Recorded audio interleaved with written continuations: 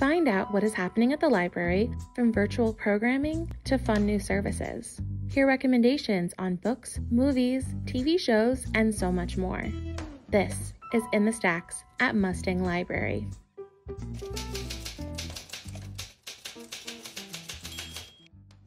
Hi, everyone. Welcome to In the Stacks.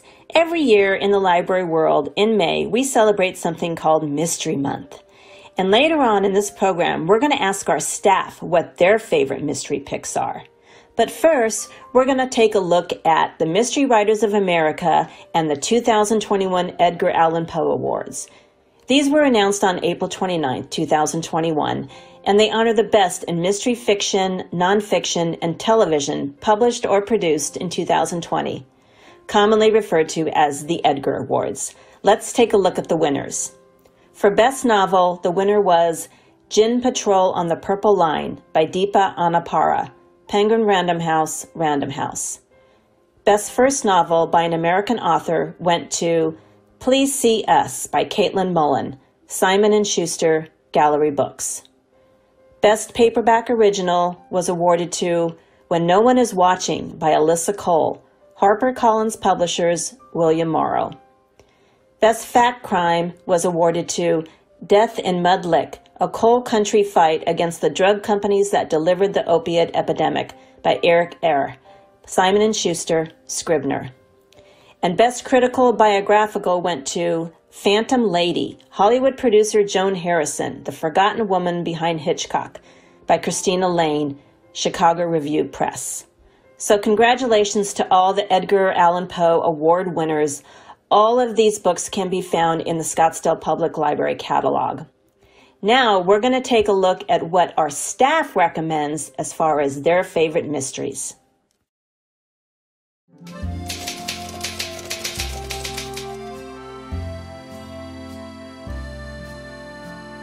Hi, welcome to Mustangs in the Stacks. I'm Jen, and these are my mystery picks. Ah, the smell of the freshly baked croissant, the bustle of the sidewalk cafes. Are we in Paris? Or are we reading yet another Inspector Maigret mystery? Georges Simenon wrote 75 mystery novels about French police detective Chief Superintendent Jules Maigret of the Paris Criminal Investigation Division, known simply as Maigret to us. Even his wife calls him Maigret. The appeal of the Maigret series for me is Maigret's personality. He's calm, methodical, intuitive. He knows his job. He knows people and what people are capable of, you know, like murder, covering up murder, lying to the police, lying about lying, you know. And yet, he isn't cynical. He doesn't talk down to his colleagues or the criminals. Another thing I appreciate about these novels, they're short. You can finish a book before you need to go back and reread character names. Each story begins immediately, and I'm usually hooked on the first page. The author, Simenon, wrote entirely in French. The Maigret series, written from the 1930s through the 1970s, has been translated several times, but recently, Penguin Books published new English translations of each novel, which many say are the best translations so far. Scottsdale Public Library owns several of the Maigret novels in this newest translation. So, if you're in the mood for Paris, you're not turned off by pipe smoking, frequent partaking of cognac and calvados, you may enjoy any one of the many Maigret novels. For something similar in style, try Madeline Nabb's Marshall Guarnaccia novels. They're set in Florence, Italy. Knabb was a fan of Simenon's writings before she started writing her own books, and her books are very similar. They're also short. Or perhaps you just want to read some Paris guidebooks. The library has plenty of those. Or try out a delectable French bread recipe. These are all in our stacks. The first book I'm going to recommend today is I Sniper. I Sniper is the sixth book in the Bob Lee Swagger book series by Stephen Hunter. Hunter's books are the basis for the 2007 movie Shooter with Mark Wahlberg and a television series of the same name starring Ryan Phillippe. In my opinion, while they are both good, the books are much better. But then again, what would you expect a librarian to say? The Bob Lee Swagger in the books is a retired Marine Corps Vietnam veteran and one of the most successful snipers in U.S. military history. During the war, he becomes severely wounded and is forced into medical retirement from the Marine Corps. Therefore, he becomes a depressed alcoholic. Because of his expertise, he is called upon by the U.S. government to consult on cases involving long range shooters. At first hesitant and distrustful of the government, he finds that being back on the hunt brings him out of his depression and helps him recover from his alcoholism. In this novel, the FBI enlists 64 year old Bob Lee's help in investigating the murders of several prominent 1960s Vietnam War protesters. Although the evidence initially points to former Marine sniper Carl Hitchcock, Bob Lee quickly discovers that Hitchcock was framed for the murders and sets out to find the real killer. His investigation takes him into the world of modern military sniper warfare. This action packed mystery is filled with fast paced writing and edge of your seat twists and turns. If you're looking for a well written action adventure thriller mystery, this is your book. For my second book, I recommend Celine by Peter Heller. The title character in Peter Heller's novel Celine is a 68 year old aristocratic private eye who specializes in reuniting families. Celine has made a career of tracking down missing persons. When a young woman named Gabriella asks for her help, Celine finds herself in a world of mystery and family secrets. Gabriella's father went missing on the border of Montana and Wyoming, and it was assumed that he died from a grizzly bear mauling, but his body was never found. Now, as Celine and her partner head to Yellowstone National Park to investigate, it becomes clear that they're being followed, and there is more to this mystery than a simple missing persons case. One of my favorite mysteries is by best-selling author Lisa Jewell called Then She Was Gone. This book is available from the Scottsdale Public Library, both as a e-media resource. It is available in audio and ebook, and it is also available in print. Then She Was Gone is a novel that begins about a girl named Ellie Mack. Ellie was the perfect daughter.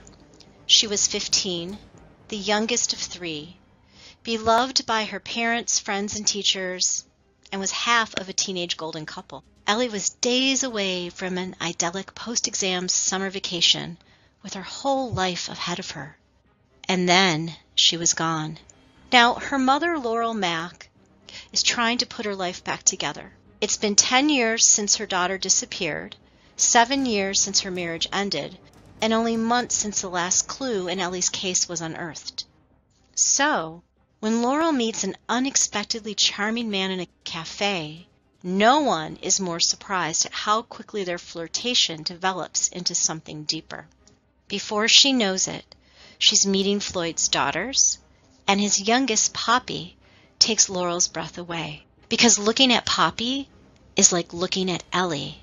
And now, the unanswered questions she's tried so hard to put to rest begin to haunt Laurel again. Where did Ellie go? Did she really run away from home as the police have long suspected? Or was there something more sinister behind her disappearance? Who is Floyd really? And why does his daughter remind Laurel so much of her own missing girl? Find out when you read this dark, compulsive psychological thriller that is definitely a page turner that will be very hard to put down. Thank you to Fantastic Fiction for their review of Lisa Jewell's Then She Was Gone. Hi, this is Tiffany from the Mustang Library. The first book I will be reviewing is The Silent Patient by Alex Michaelides. Alicia Berenson is accused of killing her husband in a violent and shocking manner. Forensic psychotherapist Theo Faber is out to solve this case and in doing so, he hopes to resolve some mysteries of his own. I liked this book because I learned about a Greek tragedy that I've never heard of before, um, which is the story of Alcestis. And this tragedy is woven into the fabric of the story and relates to the story in some interesting ways. Uh, for me, this book shed a new light on psychotherapy um, connecting the past to the present, and getting to the heart of a tragedy. I was kept in suspense until the very end of this book. So if you love a good thriller, try out The Silent Patient by Alex Michaelides. For my next book, I will be reviewing Crocodile on the Sandbank by Elizabeth Peters. Amelia Peabody is a British spinster until her father dies and leaves her a large sum of money. Amelia immediately heads to Egypt to pursue her dreams of archaeology and discovery of the Egyptian Empire. Sparks fly when she meets Emerson, an archaeologist with an explosive temper and a passion for Egyptology. Some of my favorite scenes from this book include floating down the Nile with Amelia and the traveling companion she meets along the way. There are 19 more installments of this series. If you love Egyptology and archaeology, you won't want to miss this series. Hi, I'm Jennifer at Mustang Library, and I'm going to talk to you about a couple of mystery books that I have enjoyed. I don't typically read mysteries, so it's unusual for me to have picked these two, uh, but I hope you will enjoy them as well.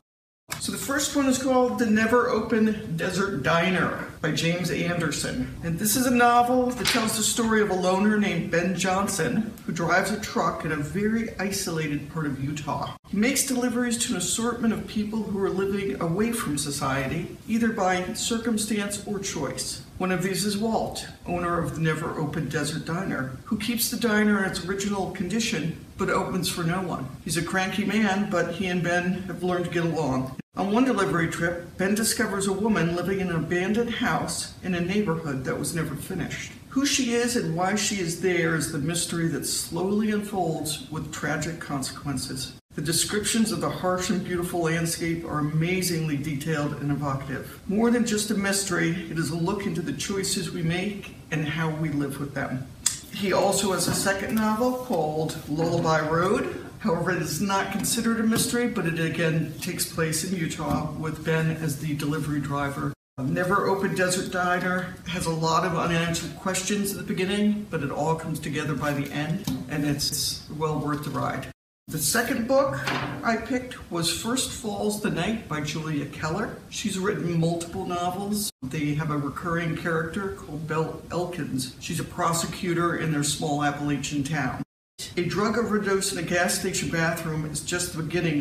Bell Elkins, a prosecutor, is racing against time to find out where the tainted batch of drugs is coming from before even more residents die. At the same time, Bell must come to terms with some hard truths about herself. The setting is an all too familiar one of a town dealing with poverty, unemployment, and addiction. A variety of characters are involved in the story, each of whom is facing a struggle of their own. Based on a true story, keeps you engaged until the very end, desperate to find answers and solutions for this town and its people. The writing is descriptive without being overdramatic. The novel asks some tough questions, such as how do you spend resources on people who do not want help? How does a community look after its own? Although Bell is a recurring character, this novel is well able to stand on its own.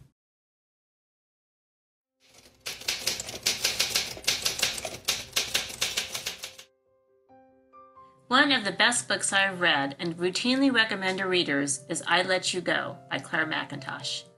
This was Mackintosh's debut book. She has written several since, but this has always been, in my opinion, her best and favorite to date.